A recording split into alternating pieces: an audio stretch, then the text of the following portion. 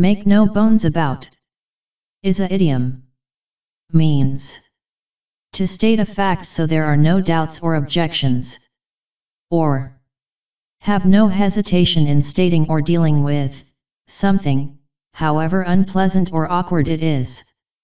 How to pronounce. Make no bones about. This is a English learning channel. Please like, share, comment on our video if you found it helpful and subscribe our channel for more English learning and informational videos. Thank you.